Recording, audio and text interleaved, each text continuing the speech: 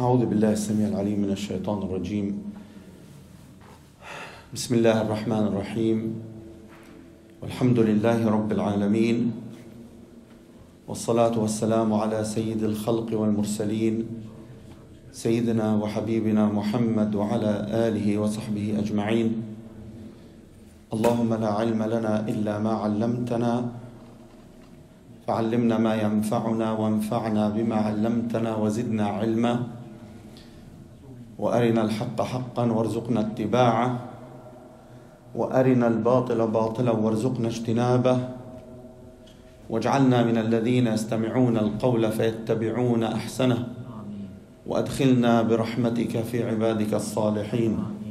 آمين.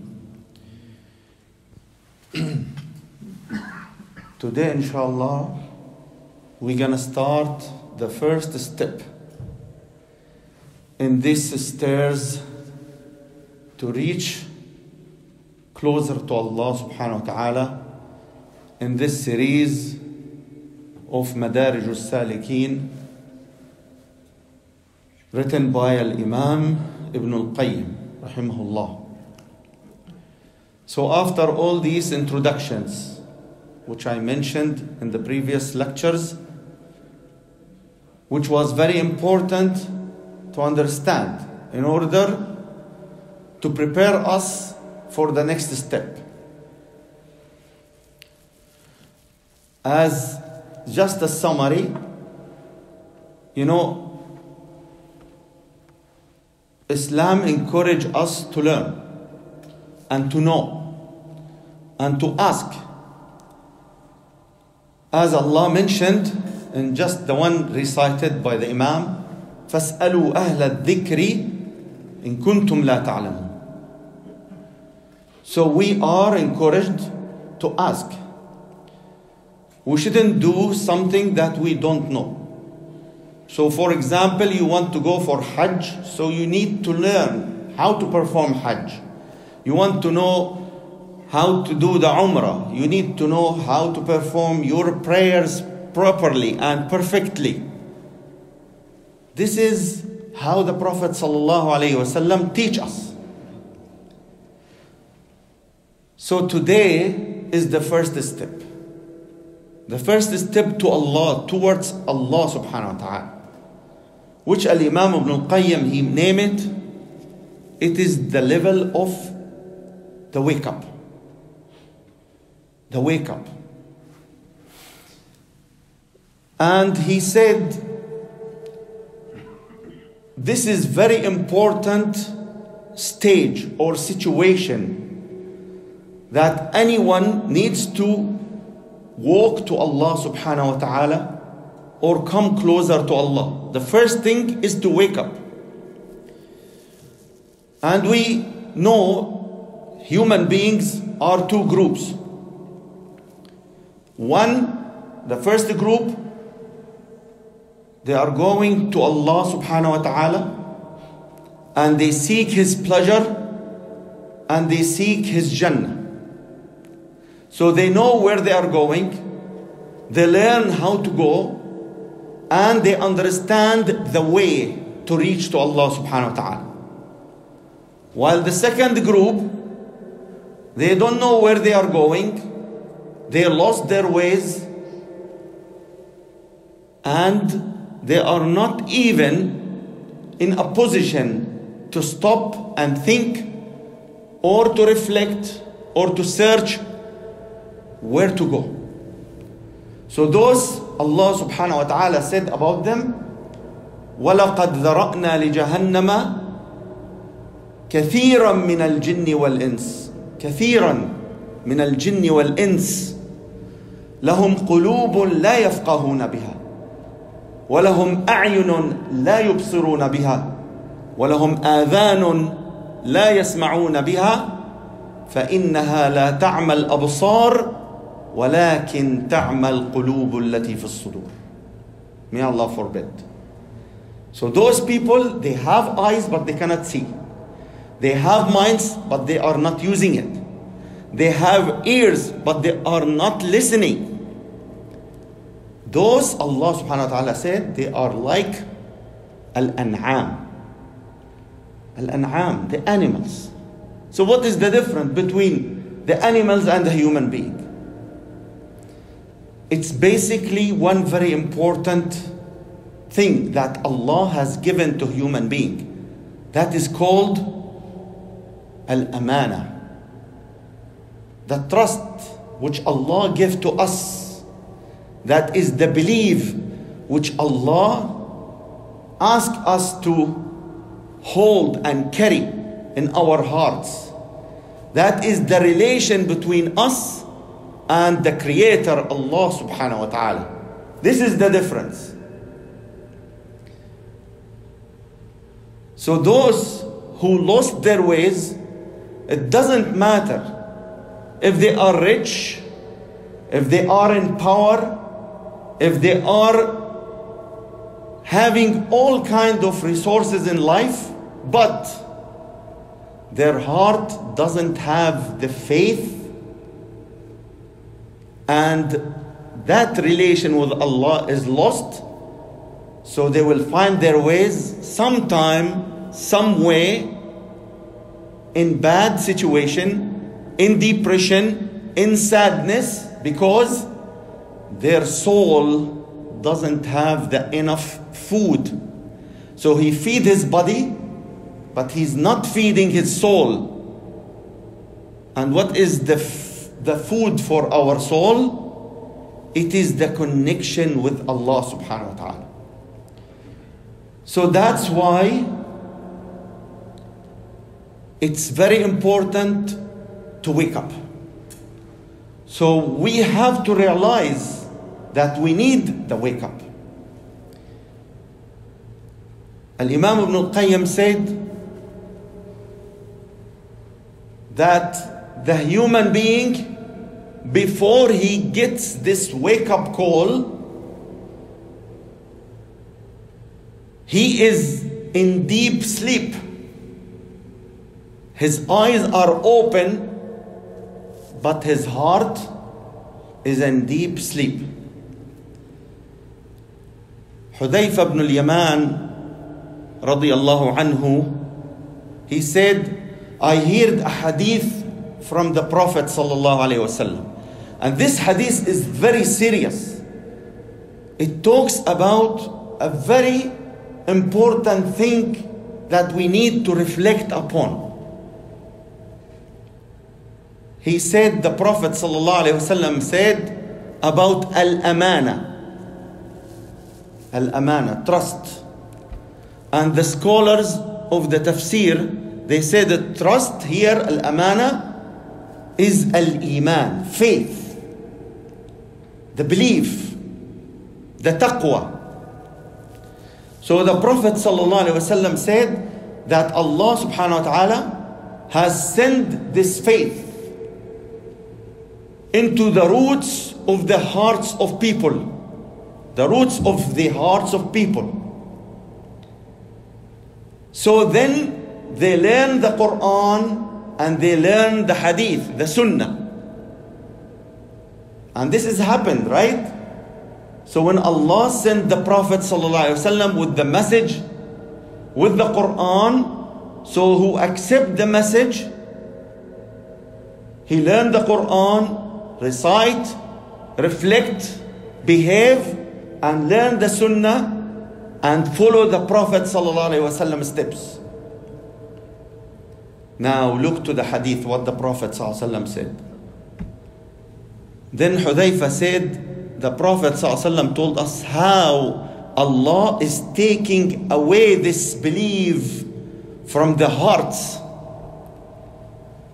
He said, the Prophet ﷺ said, that that person will go to sleep now, the sleep here does not mean that he go to bed and sleep. No, it is the sleep of the heart. What he's talking about, heart. So if his heart get into sleep, get into away from Allah subhanahu wa ta'ala. Look to what happens to the faith. Then the Prophet ﷺ said that the faith will be taken away from the heart until there will be some spots in his heart with little faith. So that that faith, the belief, is not taken away totally, 100%. No. There will be something remains in the heart. Then he sleep another time, which means he become away from Allah subhanahu wa ta'ala again. If he did not wake up, if he did not realize, then what, what's gonna happen? Then the Prophet said, then the faith will be taken totally from the heart and it will leave some traces in the heart. So, what kind of traces is that, Ya Rasulullah? So he said, it is like, look to the example, which is really amazing how the Prophet ﷺ described. He said, like when you bring a charcoal, a very hot charcoal, and you roll it down on your leg to fall on the ground. So where it touches your skin, it burn it and it makes a bubbles. So he said that this is what is left in the heart after taking away the belief, the iman, the faith. These bubbles looks like full, but it is actually empty. Nothing in it. So that's why his prayer, so he's still praying, but his prayer is empty. His good deeds looks like good deeds, but it is empty. His fasting, he's fasting. He reciting Quran. He read the hadith, but all of this, it's all empty. That is the major and the serious thing about it. The problem that that fellow he doesn't realize that this faith is taken away. He's still praying, he's still fasting, he's still reading Quran, but it's all empty. That's what we need to know.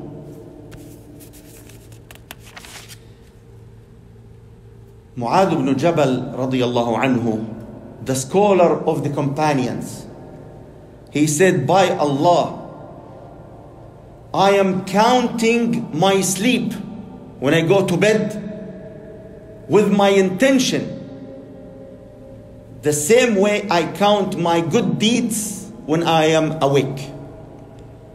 You see what that means? It means the companions they learn from the Prophet ﷺ not to leave even their sleep to go useless. Their sleep is counting good deeds for them. How?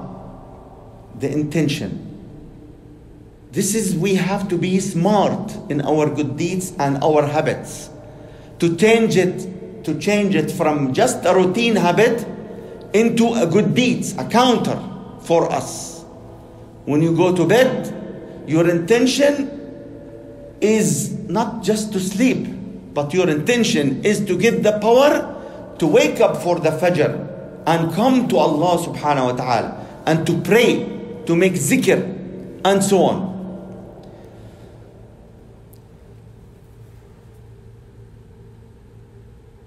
The Prophet sallallahu alaihi wasallam he said, O the servant of Allah,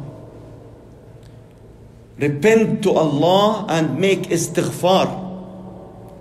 By Allah, I am doing istighfar and repentance to Allah every day, hundred times. And he is the Prophet of Allah. Sallallahu Wasallam. He is the most beloved one to Allah. He is Habibullah. He is the best messenger of Allah. He is the one who will open the gates of Jannah on the day of judgment. He is the one who will perform the shafa'ah for all creatures. But still, he's doing istighfar every day, hundred times. Why the Prophet is doing istighfar? Stay with me, you will know now. Now, the question how can we wake up? How we will wake up to realize that we are awake. Actually, Ibn al-Jawzi said, another Imam, Ibn al-Jawzi said, he said, I think too much about how the people, they wake up and they become guided to Allah subhanahu wa ta'ala. And I realize that the most of people who wake up it was given to them a gift from Allah subhanahu wa ta'ala. Allah has chosen them to wake up. So that's why my brothers you have to be happy that Allah has chosen you to come to Fajr Jama'ah, has chosen you to come and listen, to understand and realize those things which we all need. The Prophet ﷺ, he teach us every day in Al-Witr to make a dua. Allahumma hdina fi man hadayt. And Allah subhanahu wa ta'ala told us in our prayers 17 rak'ah farz, 12 rak'ah sunnah, every day we read اهدنا الصراط المستقيم. Al-Imam ibn al-Qayyim, Imam ibn Taymiyyah, Shaykh al-Islam, he said, this is the best dua you ever do for yourself. Oh Allah, guide us to the right path. We say this one every day 40 times. When you read Ihdina Sirat al please do it from your heart, not from your tongue. So that Allah will accept. Allah will open the guidance for you. This is the best gift from Allah is to be guided. You know the companions, they never believe that Umar ibn Khattab will become a Muslim. They never believe. The Prophet wasallam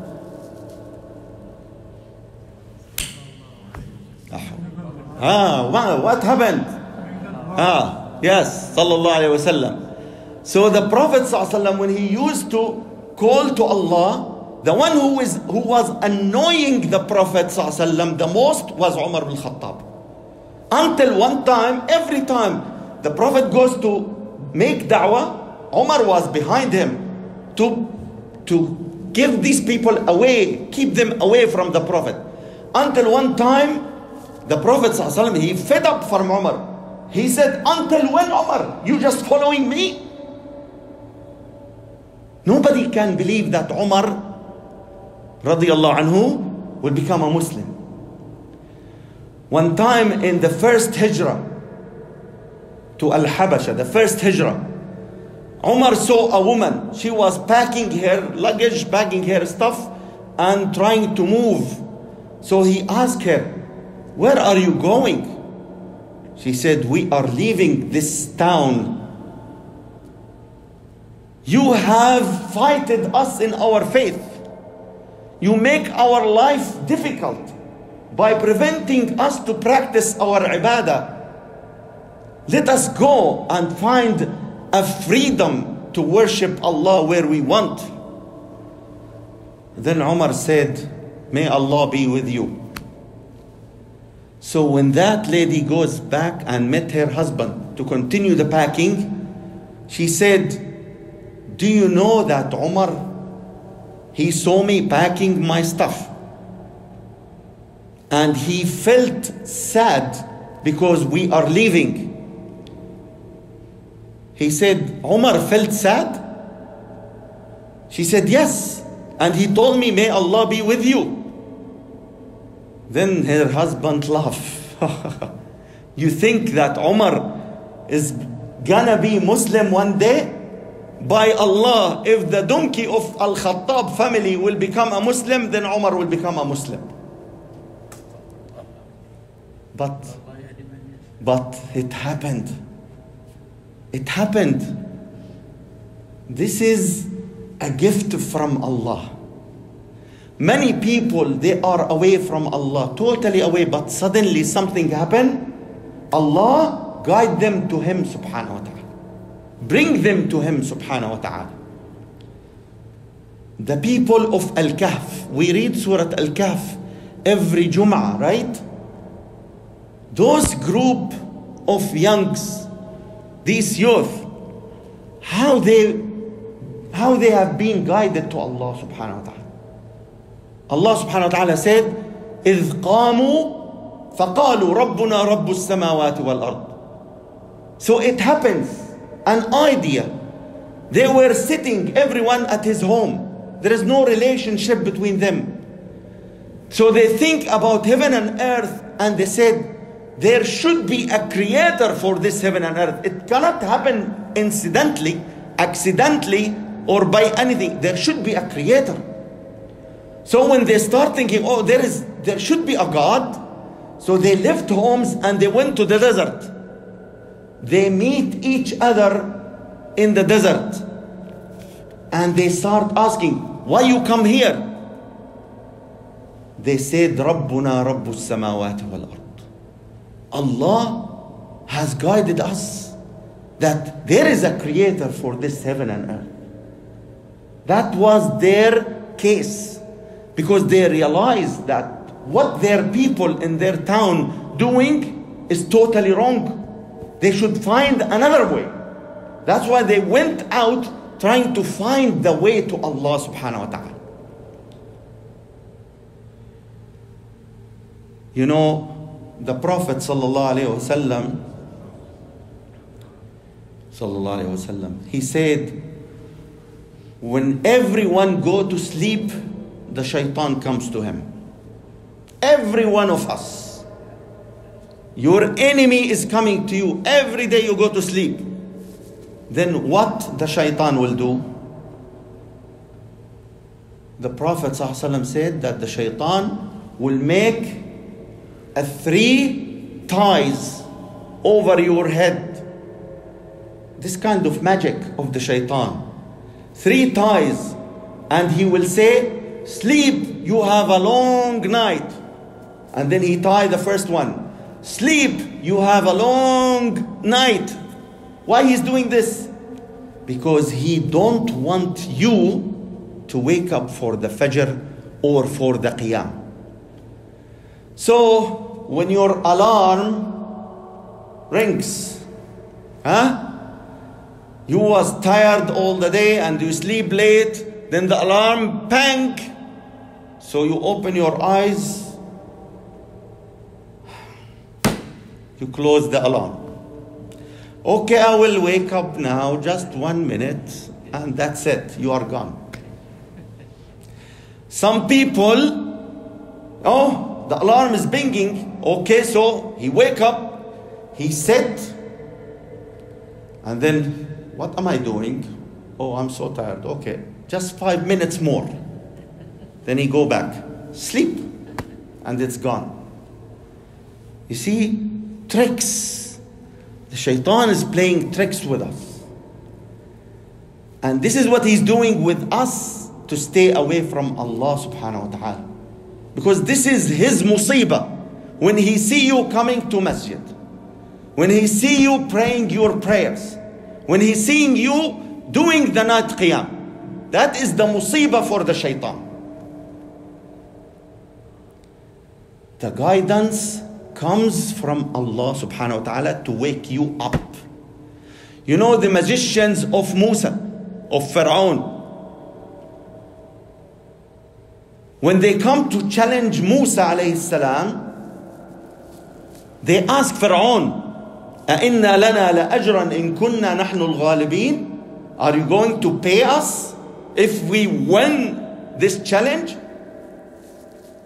So Pharaoh is smart. He wants to win this battle with Musa. He said, قال نعم. You will get a very good pay. And not only that, قال نعم وإنكم إذا لمن المقربين. You will be too close to me. That's a good deal. So what happened? فألقوا حبالهم وعصيهم So they throw their ropes and their sticks وقالوا Look what they say وقالوا بعزة فرعون By the dignity of Pharaoh we will win today فألقى موسى عصاه فإذا هي تلقف ما يأفكون Then Musa when he throws the, the stick and it turns into a big snake eat everything So what happened with these magicians? فألقي السحرة ساجدين They perform sujood to Allah قالوا آمنا برب موسى وهارون You see, the guidance comes. This is the wake up. This is the wake up. When you wake up, you have to do something. You cannot just close the alarm and go back to sleep. We have to do something, right? To stay wake up. So when you wake up, you, you want to come to masjid. So the Prophet ﷺ said, so the first thing you say when you wake up, Alhamdulillah, الذي أحيانا بعدما أماتنا وإليه النشور. And another hadith, he said, Alhamdulillah, الذي رد إلي روحي وعافاني في جسدي وأذن لي بذكره So when you say this, the first tie that shaitan make on your head will be released. Then you go make wuzu, the second tie goes, and when you make salah, you pray, the third one goes off. Now, this is very important thing and I will end with this one. قال ابن الجوزي So some people after they wake up, their desires take him back to what he was doing before. Like the guy who was sleeping, he just closed the alarm and he go back. So his desires take over him his actions and make him to sleep again. And some people they wake up, but he still struggle to continue to the way of Allah or to go back. So he is in between. Sometimes moving forward to Allah, but his desires catch him back and stuck. So this is either one day he will be defeated by his desires or he will keep doing this jihad between his nafs and desires and his action towards Allah and he will reach to Allah with wounds in his heart. So his heart is not salim but he will reach. And the third one, who defeated the desires, defeated the shaitan, and keeps going. And keeps going to Allah subhanahu wa ta'ala.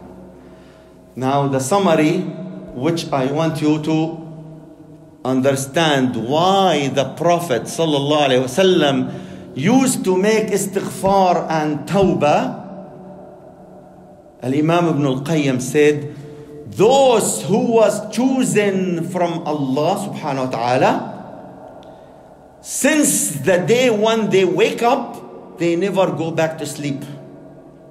Since they wake up, since they realize that they are away from Allah, they wake up and they start working more and more.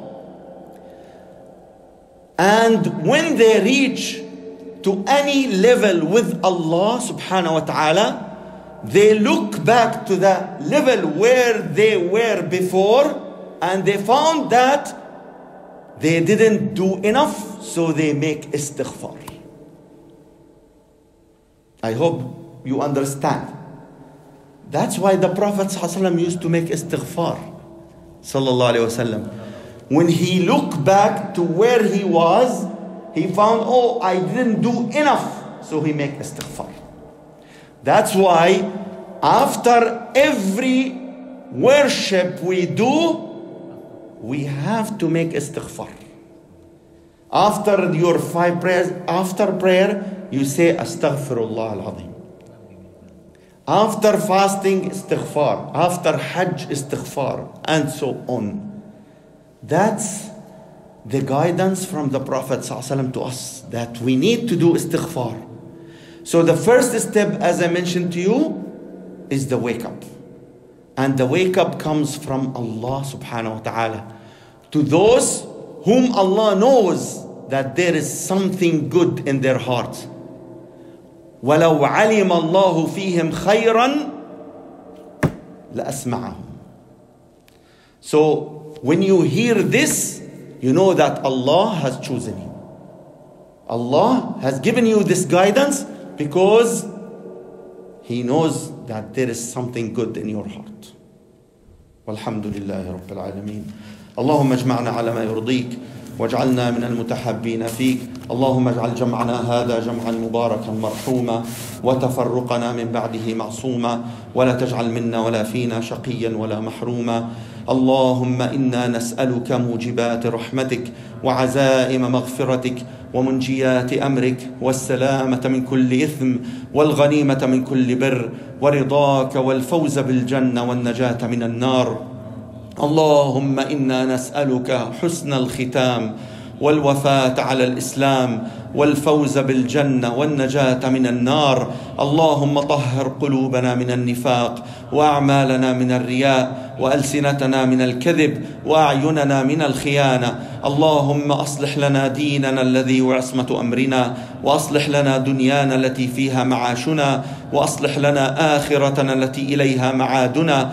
اللهم اجعل الحياة زيادة لنا في كل خير واجعل الموت راحة لنا من كل شر يا أرحم الراحمين.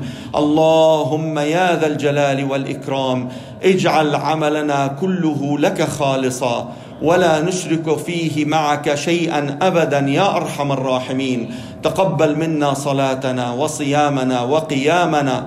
وتلاوتنا وذكرنا يا أرحم الراحمين. اللهم اجعلنا في عبادك الصالحين. اللهم إنا نسألك قبل الموت توبة وعند الموت شهادة وبعد الموت راحة وسعادة. اغفر لنا ذنوبنا كلها دقها وجلها ما علمنا منه وما لم نعلم. اللهم يا أرحم الراحمين اشف مرضانا ومرضى المسلمين. اللهم اشف مرضانا ومرضى المسلمين. اللهم اشف مرضانا ومرضى المسلمين. اللهم ارفع عنا الوباء والغلاء. إنك أنت السميع العليم. اللهم استر عوراتنا. وآمن روعاتنا. اللهم استرنا يا أرحم الراحمين ولا تفضحنا. اللهم اهدنا واهد بنا واجعلنا سببا لمن اهتدى. ربنا آمنا بما أنزلت واتبعنا الرسول فاكتبنا مع الشاهدين. ربنا هب لنا من أزواجنا وذرياتنا قرة أعين واجعلنا للمتقين إماما.